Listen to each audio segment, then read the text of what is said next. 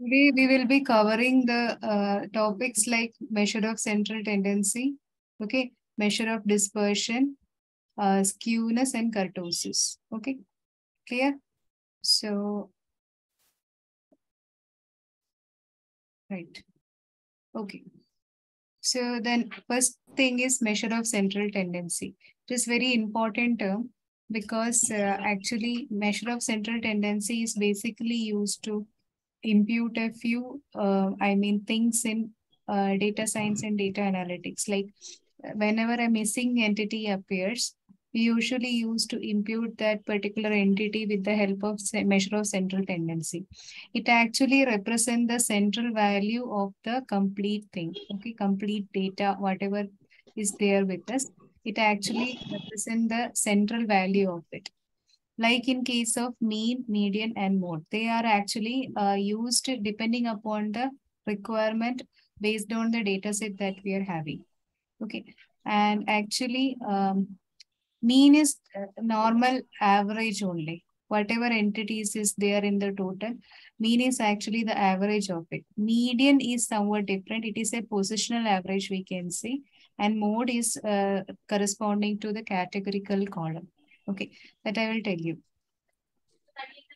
Now, uh, the next thing is mean. Mean is actually sum of all observation divided by number of number of observation, as we actually do in case of average and all. For example, if uh, average score is 85, so sorry, if your score is 85 in a particular game or in any uh, exam like that, okay, but the average score score of uh, the entire team is 65, then that means that your performance is really good, right? Your, I mean, um, people uh, people will be proud of you, right? So that is what is called average. Average shows the, I mean, sorry, average actually shows the sum of or everybody's score divided by number of people in the that particular team. So that is 65 and your score is 85. So this is showing that you are a uh, you are one of the very best uh, team person in that particular team. Okay, so it reflects that thing. That is one thing. Next thing is that if your uh, complete data set is not having that much outliers, very less outliers are there or uh, outliers is approximately null. So in that case, you will be taking mean. I will tell you what outliers are. Okay. So that is what is called mean. Okay. Now moving on to the next thing. Some advantages and disadvantages are there in mean. Uh, mean is actually used for both continuous and discrete data. Okay, it is one of the best central tendency. And this is the equation of mean. Like what is the sum of all persons score divided by number of people who are there in the team? The same thing. Okay, but it is very much affected by the external observation and it cannot represent data consisting some of the extreme points means outliers only. Okay, outliers means the values that are totally different from the distribution. It is, uh, I mean, completely different from it. I will tell you that thing. Okay. So this is regarding mean. Now, uh, median is actually the middlemost observation. Okay. Uh, I mean, if uh, there are n observation, for example, and if n is odd in number, for example, there are 99 observation. Okay, 99 observation is there. That means n is equal to 99. So the middle observation is actually 99 plus 1 divided by 2. That is 50th observation. But if n is even, that is if n is 100, okay, then 100 divided by 2, that is 50, plus 100 divided by 2 plus 1, that is 51. 50 plus 51 divided by 2, that particular observation is actually median. Okay, understood my point? But it but the problem with median is it that it can't be used for categorical kind of columns, categorical kind of value or data. So that is its disadvantage. What is the disadvantage of mean, all of you? It is very much affected by the extreme observation, outliers and all. So that's why we are using mean uh, median when a uh, lot of outliers are there. Mean से नींद आने लग गई Who is there? Okay. So um, that is the problem with mean. But when we are using mean, uh, median in place of mean, that problem can be sorted.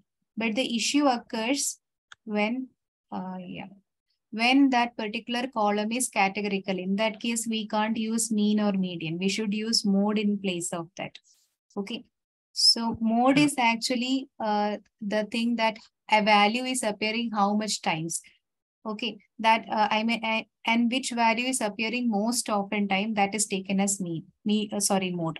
Uh, here it will be clear to you. Like if these are the entities in the data, there is a numerical column, okay, like 2, 5, 8, 4, 4, 2, 2. Okay, and what is the average of it will give you mean. Like 2 plus 5 plus 8 plus 4 plus 4 plus 2 plus 2 divided by total number of number data is 7 in number, right? 1, 2, 3, 4, 5, 6, 7. So this many entities divided by 7, that is simple average will give you this value. Okay. But in case of median, what happens, you know, we have to arrange that particular uh, data in an ascending order. And since it is 7 in number, it is odd in number, right? So, Mm, so what was our formula? 7 plus n plus 1 divided by 2. That's why 7 plus 1 divided by 2 will give you 4. That means fourth observation is the median. What is the fourth observation? It is 4. Right? So that's why median is 4. But when we are uh, actually telling about mode, in that case, we can say 2 is the mode because 2 is appearing most number of times, right? So that's why 2 is mode. Is it clear what is mean, median and mode? yes, I'm clear. Yeah, okay. So uh, we will actually use it according to the need. If our column is numerical and it is not having any extreme values or outliers, we will be using mean in order to impute the missing values. Okay. And if our column, numerical column, uh, is having outliers, then we will be using median. And if our column is categorical, it's not numerical, then we will be using mode to impute the missing values. Clear, everyone? What is the use of statistics in data science and data analytics? It is clear, right? Yes. Yeah, okay. So now this is the R program code. Those who are familiar with R program, they can use this particular code. I will send this PPT in your groups. Okay, you can try out this thing. Like uh, you can find out the same thing, mean, median, mode by giving the same values. These are that those values. You can give it in this particular code and you can get the output as this one. Okay. R Studio is used for programming. Okay. You can you uh, I mean if you know Python programming, you can try the same thing for that too. Okay. Now next is measure of central tendency. So in case of measure of central tendency, actually it uh I mean measure uh, measure of sorry measure of central tendency is already done. Measure of central tendency actually tells you something about the middlemost value or the value which represent the entire data set. Dispersion is actually a state of getting dispersed or spread, like a scatter. All the data is spread like that. Okay. And it tell you something about that spread. Actually, statistical dispersion is extent to which numerical data is likely to value about the average of the central value. That means mean is the central value. How much the distribution is varying from that particular point is actually the statistical dispersion, right? You understood my point? Central tendency means central value. Okay. Sta- statistical dispersion means how much the numerical data is actually varying from that particular point. It is the measure of that thing. Okay. It shows that how much your data is stable with respect to the central value. Central value may be mean, median, mode. Okay. So actually the thing is that uh, if the observation is very much, very less deviating from the central values, then it is very much stable. For example, this observation you can see. See, in case of observation 1, 100, 100, 100, 100. All the values are 100. Okay, so the deviation is very less. What is the average of it? Average of first observation. What is the average? Everyone, please tell me. What is the 100. average? 100. 100. Okay. So uh, average is 100 and none of the data points, 100, 100, 100, they are not deviating from it. Deviation is very less. Deviation is almost zero, right? Not almost zero, it is exactly zero. So that shows that the data is quite stable, isn't it? But when uh, actually the data points are 1, 1, 2, and 496, what is the average? All of you? Average means what? 496 plus 2 plus 1 plus 1. 125. No, no, all observations. 125. Yeah, 125, correct. Okay, 500 divided by 4, that is 125. Okay, so but 125 is very much uh, far from 1, 2, and 496, isn't it? All of you. It is very much deviating. Middle point is very much far away from 1, 2, and 496, all right? Isn't it? So the that particular observation is very much deviating from the central value. I mean, whatever data points are there, their deviation is very high compared to the central value. Right? So actually dispersion calculates that thing, that how much the data is stable. Okay? Understood everyone? Yes. Okay.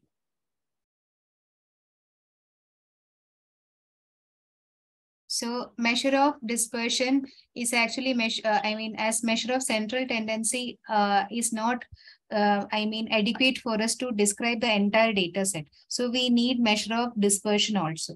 And the entities that comes in this particular measure of dispersion are uh, range, interquartile range, standard deviation, and variance. Here interquartile range is very important to tell you the concept of outliers.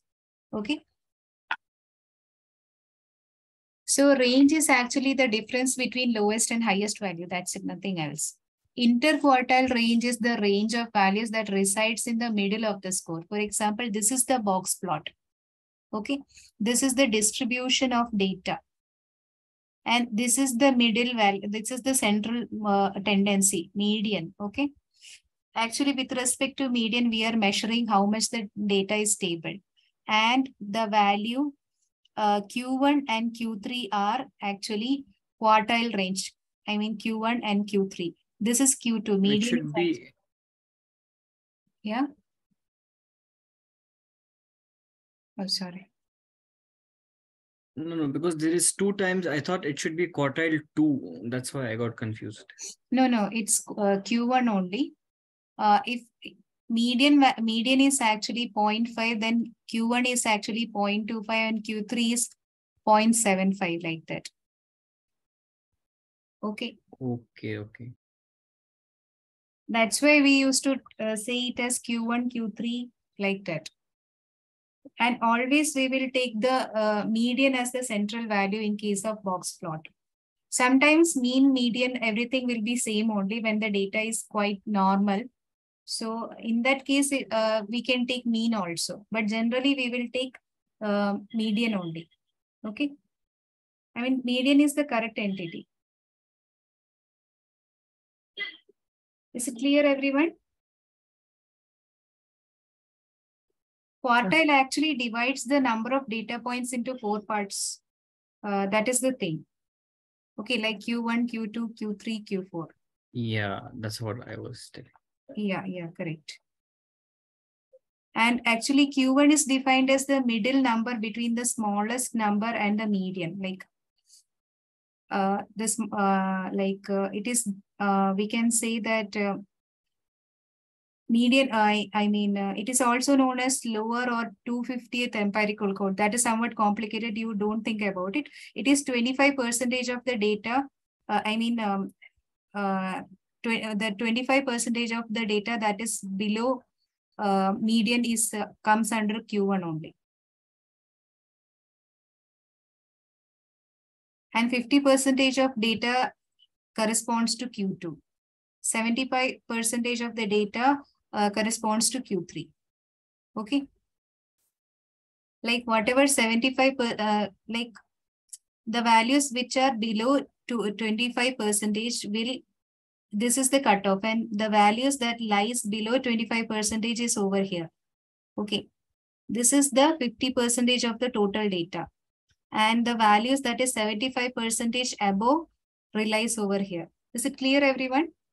Like it is showing you the distribution only with respect to this graph also.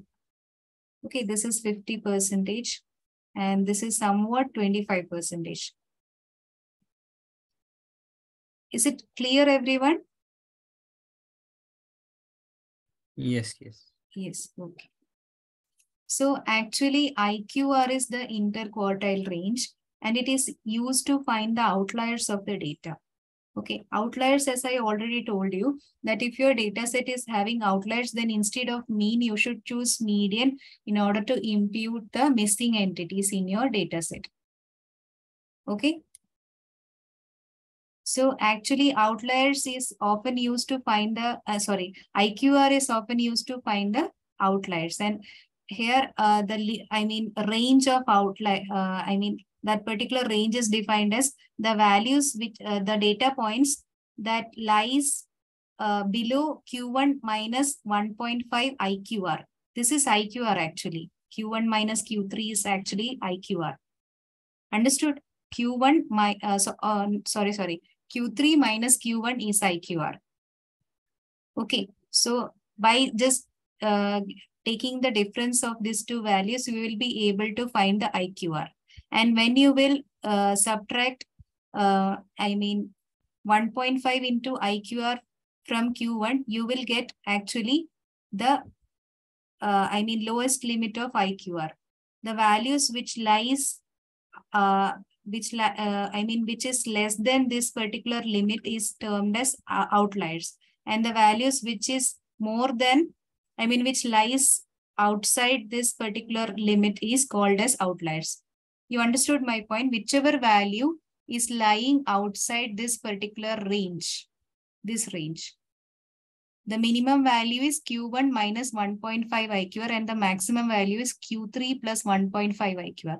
And whichever value lies within this range and this range, they are termed as outliers. Clear everyone?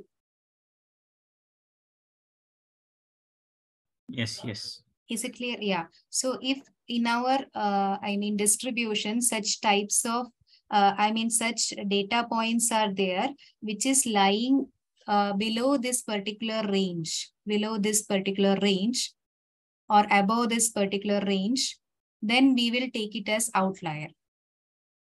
Okay. So actually, at that very moment, we Yes, will use median. Yeah. When we are taking a, for example, uh, a particular column is having some missing entities. Okay. And if we want to impute that particular missing entities with something else. Okay. So we should understand that what is the distribution of it. When we will check the distribution or we will check the box plot of that particular column.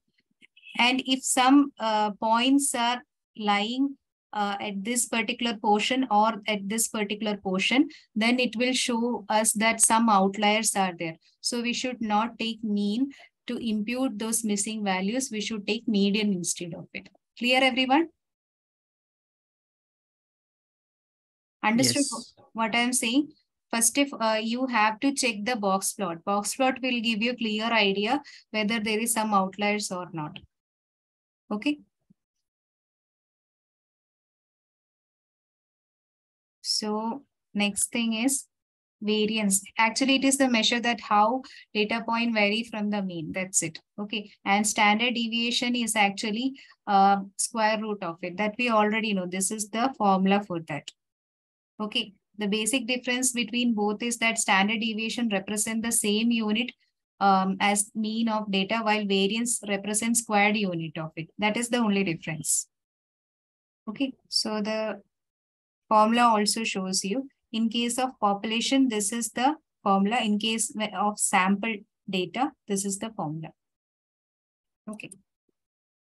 And this is the R program corresponding to it. Right.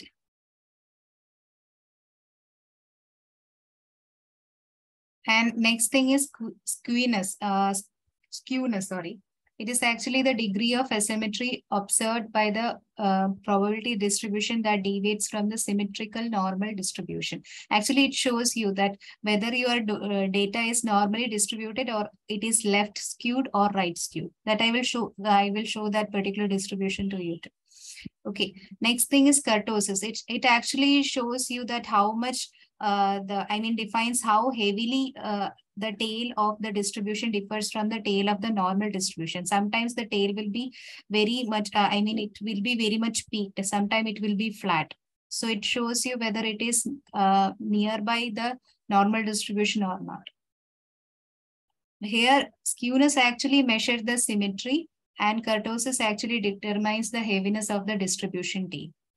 So the difference will be shown by this images.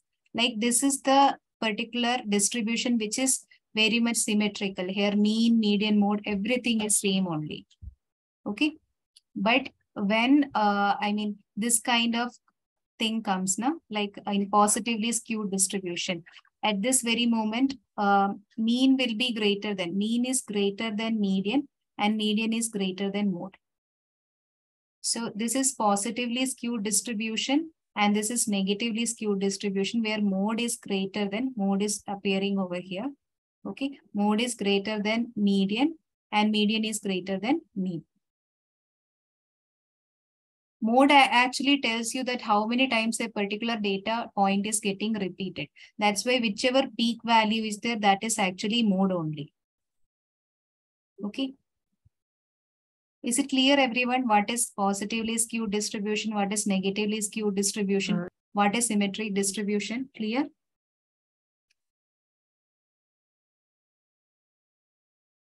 Yes. Okay.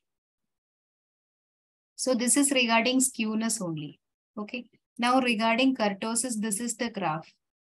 Okay. Mesokurtic is actually the normal distribution. Okay. The moderate distribution where it is uh, appropriate. Actually, kurtosis is 3. Okay. When it is greater than 3, that means it is very much peaked like this. Okay. And if it is flat graph like this, then kurtosis is less than 3 and it is called platykurtic. Like flat, flat. Okay. Remember like that. Platykurtic means flat graph where kurtosis is less than 3. And leptokurtic means peaked one. Okay. Is it clear, everyone?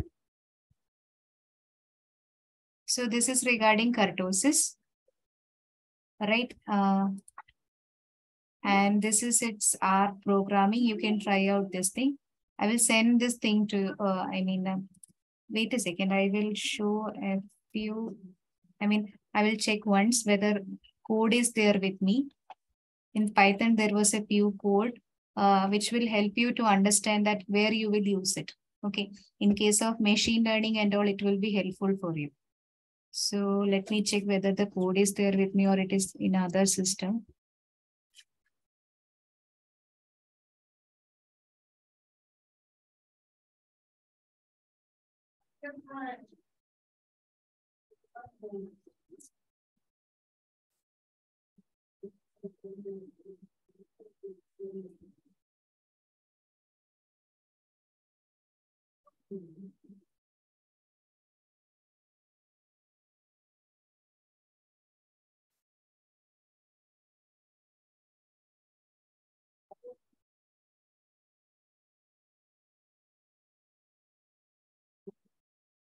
Well, Okay, this is a particular uh, program. Here I'm using the imported libraries like pandas in order to open the file, NumPy in order to do complex calculation, Matplotlib to do the uh, Matplotlib and Seaborn is basically for data analysis and plotting things. Okay, so I'm going to run it. And this is some house price prediction train data. Okay, so let us run this one too. And this is actually DF is the data set. Okay, there is a CSV file in which some house price uh, data is there. And when you will check out the, uh, I mean, uh, sample of it, you can see this thing. Okay. Uh, these are all related to data planning. If you want, I can take next session related to it. like how to impute uh, things with need median mode. The most important thing uh, correspond, um, no, it is not there. Okay, wait a second. I will check once again whether outlier, I mean, wait, wait, wait. Actually, there was a particular code in which uh, box plot was shown. Okay, I will check out whether it is there or not. If possible, I will try to explain it.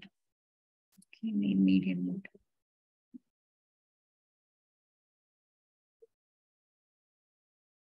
Yes, I got it. So I was telling you like in box plot, we can see the outliers, right? So this is the place where, uh, I mean, this is the box plot. Okay, you can see. These are some columns of this particular data set. This is Titanic data set in which uh, passenger ID, people who survived, what were their class, name, sex, uh, age, those kind of things are mentioned. Okay.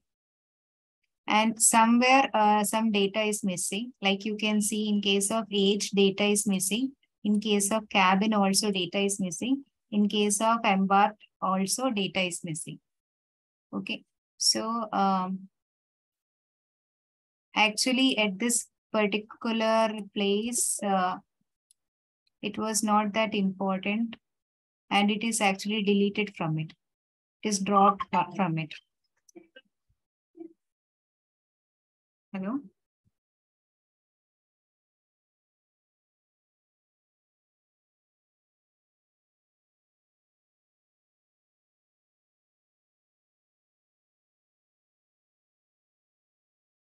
So guys, actually these uh, this particular cabin is not that important. So that's why it is removed from it. Now what columns are remaining are age and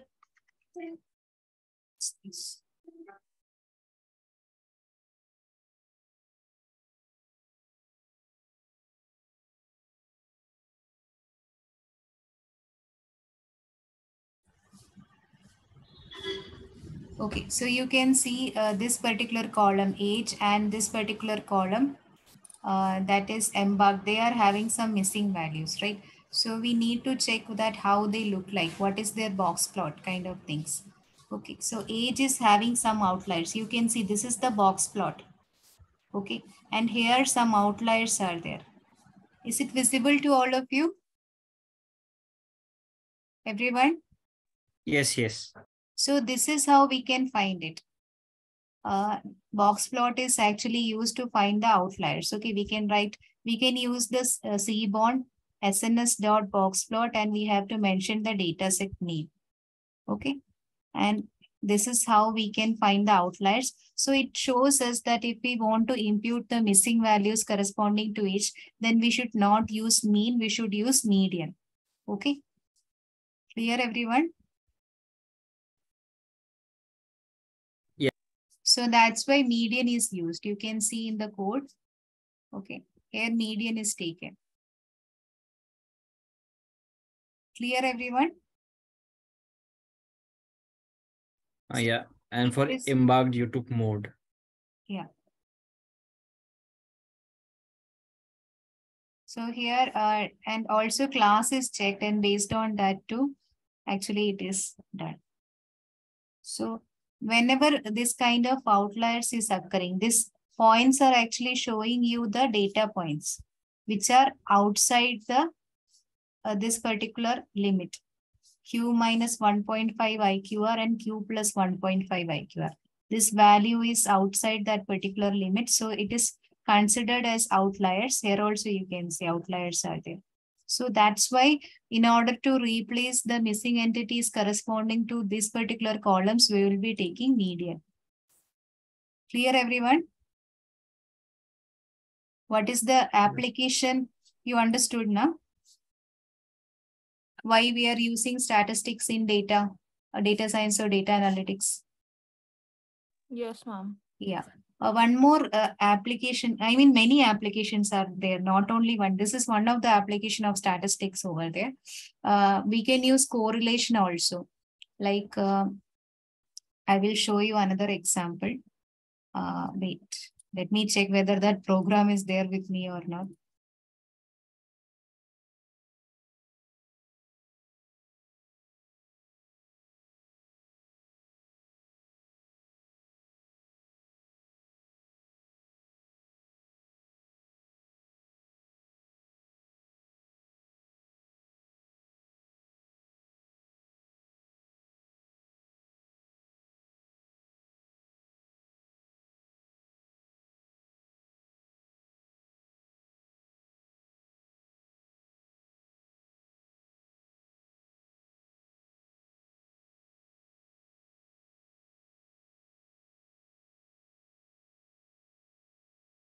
Okay, actually, right now in uh, my, I mean, Jupyter notebook, it is not there. I will check my GitHub and I will tell you. Wait a second.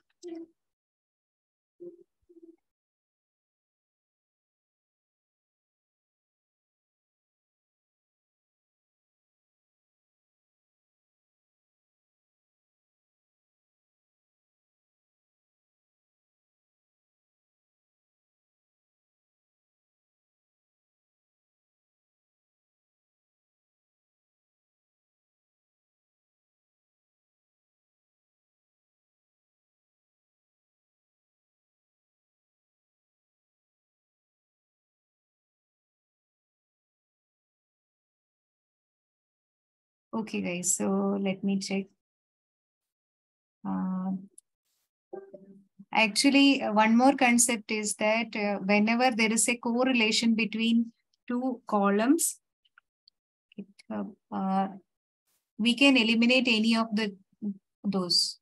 Okay. Mm.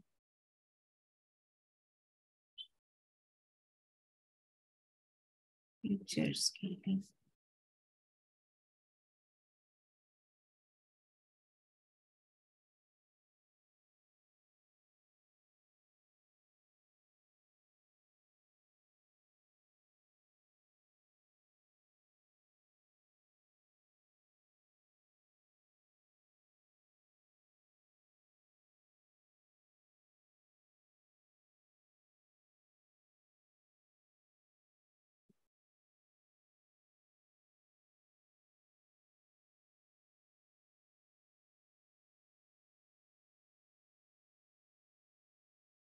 Okay, so this is another uh, code you can say. Here, actually, what I'm doing, many columns are there. You can see many columns are there. Okay, when huge number of, we need lot of records. Actually, that will improve our uh, processing and all. But uh, if many columns are there, if we are able to eliminate a few of them, that will actually improve the accuracy of our model. Okay it uh, not accuracy of the model sorry. Actually it will uh, decrease the time of processing. So we should actually look whether we can eliminate some columns or not. Rows are required. You don't uh, delete rows. Delete rows only when 20 percent more than 20 percentage of the data is missing in a particular col column. Okay. Uh, and uh, here you can see like uh, yeah, this is the, uh, I mean, um, heat map corresponding to the entire data set. Okay, wherever, uh, I mean, there is a correlation more than 70 percentage, like here you can see 0.74. Okay, this value itself will tell you wherever light color is there, na, it is more than 70 percentage, like 0.94. So we can eliminate those two columns because they are very much uh, similar to each other. So we don't need both of them. We can eliminate any of them. That is where statistics again plays a role. Okay. Hello, ma'am. Can you uh, explain me about the heat map? How to understand the heat map and why we use a heat map yeah, uh, heat comparison map to actually, other map? Yeah. Yeah, here heat map is used to find the correlation between different variables like mean radius, mean texture, mean parameter, like that many uh, entity, many uh, columns are there. Okay, the same column is repeated here too. And actually the, the correlation between them is uh, taken. So he, this particular white colored one means the same column it is. Uh, this you can see uh, like worst fractal dimension is correlated with the uh, this, yeah, same. Worst fractal dimension. Okay. This is the value corresponding to this particular line and this particular line, the correlation between them. Since they are the same thing only, that's why it is white in color. It is completely correlated now. One call, the same column is actually being um, made to correlate with other. So that's why it is showing one. Now worst symmetry is actually um, this uh, correlation between worst fractal dimension and worst symmetry is checked, then we can see it is 0.54. So we should not eliminate it. They are totally different. Okay.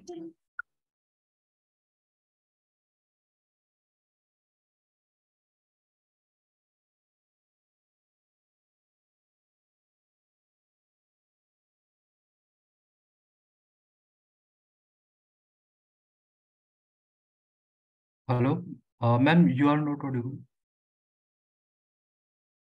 Okay, sorry, sorry. So this this particular thing actually shows the correlation between worst fractal dimension and worst concave dimension. It is 0.51. Okay, here you can see uh, fractal dimension and worst, uh, this is mean fractal dimension and this is worst fractal dimension.